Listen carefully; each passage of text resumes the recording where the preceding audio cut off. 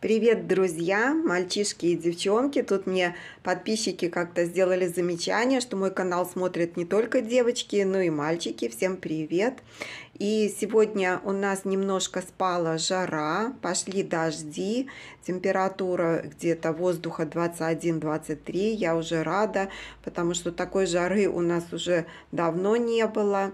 Вот, сама я из Беларуси, вы сами понимаете, у нас и именно умеренный климат, повышенная влажность, поэтому для нас жара в такую высокую влажность это что-то с чем-то. Ну, в общем, невыносимое не только для орхидей, но и для людей. Но сегодня жара спала, вот, мои орхидейки немножко просохли, решила сегодня полить, и когда поливала, девчонки обнаружила такую вот ситуацию. Сейчас вам расскажу и покажу. Э, это орхидейка Сакура. Я ее покупала и хвасталась этой покупочкой 5 месяцев назад. Название этой орхидейки я не знала. И спасибо моим подписчикам э, и особенно каналу Алочки из канала «Тропическая гостья» и Наташи из канала «Наталья Орха-дневничок». Значит, они мне подсказали название этой растюшки. Сказали, что это сакура. Я ее покупала, девочки, я сама метр пятьдесят шесть ростом, маленькая. И как я ее несла, как я ее донесла, эту орхидею, не знаю, там был цветонос больше метра. Но еще плюс горшок. Вот представляете, какую кобылку я принесла домой. Многие а, архаманы советуют полностью обрезать цветоносы. Девочки, цветоносы я не обрезаю никогда. Э, только в том случае, если орхидея больная или нету корней, ей надо корневую систему нарастить. Тогда уже я э, обрезаю цветоносы. Вот. У этой орхидейки корни хорошие. Как я ее пересаживала, я вам не показывала видео, потому что они у меня как бы однотипные. Вот э, внизу у меня, во-первых, горшок, двойной горшок я посадила, внизу у меня керамзит, кора и э, с добавлением мха. Ничего особенного в посадке нету. Вот, цветоносики я не обрезала. И сейчас покажу, что про, э, ну, произошло за этих 5 месяцев. Вот смотрите, вот один цветонос. Видите, я цветы обрезала по первую живую почку. И из этой почечки у меня пошел цветоносик расти. Вот. И вот на этом цветоносе вот такая красота. А в том видео, которое я вам показывала, когда я купила эту орхидейку, э, это было 5 месяцев назад, э, вот, это было зимнее цветение, естественно, оно было ярче, сейчас жарко, и э, ну, цветочек такой бледненький получился, но все равно он, ну и цветы немножко поменьше, чем магазинные, но все равно красавец, посмотрите. Ну, красавец вообще неописуемый. Вот, второй цветонос, вот, второй цветонос, видите? Она уже выгнала домашний. Это не покупной, не обрезной, это домашний цветонос. И что я на этом цветоносе, девочки, заметила? В общем, это э, какая-то крокозябра. Смотрите, вот смотрите, какой цветок мутированный. Две губы и столько лепестков у нее, посмотрите. Поближе покажу. Видите? И сзади, как крылья у нее. Сейчас покажу у этого цветочка. Вот, посмотрите. В общем, не цветок, а бабочка какая-то с множественными крылышками и с двумя э, губами. Вот, посмотрите, видите, какая мутация? Это, скорее всего, от жары. И второй цветочек распустился на этом же цветоносе, тоже мутант. Получается, смотрите, вот губа и вот это что-то не то губа, не то не губа, непонятно что. В общем, тоже крокозябра.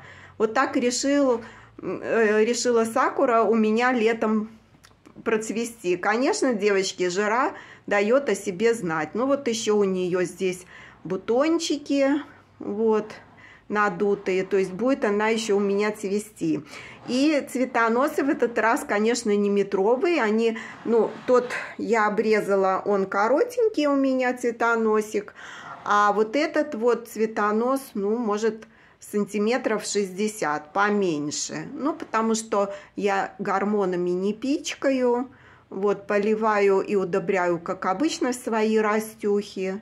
Вот такая красавица. Вот еще раз поближе эту крокозябру вам покажу. Смотрите. Вот это. Вот. И вот это с двумя губами. Вот. Но это одна похвастушка.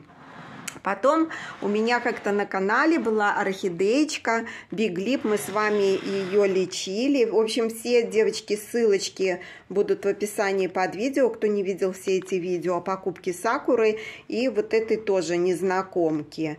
Вот, э, там был пожелтевший листик, э, орхидея повреждена вирусной инфекцией, вот, э, вырос вот такой корявый листик, один молоденький после лечения, но вот этот уже листочек более-менее, видите? И она тоже решила в жару мне из обрезанного цветоноса пустить. Вот, видите, почему я никогда не обрезаю цветоносы. Вот смотрите, я обрезала цветонос, она, этот цветонос дал цветение. Потом я опять обрезала, и опять из почки опять дала мне цветение. Мы же покупаем, конечно, цветы не для того, чтобы цветоносы обрезать, а чтобы любоваться цветением. Вот, смотрите, вот мой биглипчик. И тоже, к сожалению, не знаю названия. Вот такой красавчик, видите, небольшой э, цветоносик дал. Ну и сейчас в лето, в такую жару, они и не растут, и не цветут особо. Вот такой биглипчик. Вот, девчонки, спасибо вам, что вы мне подсказываете название, потому что в последнее время стали приходить орхидеи без названия. Вот, они их дублируют, видно, они хотят, чтобы были неприятности вот, от других производителей. Они либо номера ставят орхидеям, либо вообще название никакое не дают. Вот. Вот тоже такая белоснежная красавица с такой рюшистой губой, такой вот биглипчик, видите, там на нижних э, петалях у нее крапушки, и вот тут вот э, на самой губе такие крапушки, и такое ощущение, что там бабочка с крылышками сидит, вот, на колонке, на губе на самой, видите, какая красота. Вот, так что сегодня поливала и обнаружила, что вот эта орхидейка, которая у меня болела, трошечки очухалась и дала мне небольшой, правда, цветоносик. Вот покажу еще поближе эту красавицу. Ну и сакура моя решила тоже крокозяброй процвести. Вот такие девчонки у меня сегодня по хвастушке. Все, всем моим подписчикам спасибо, что участвуете активно в моем канале, что подсказываете мне, даете советы, э, названия.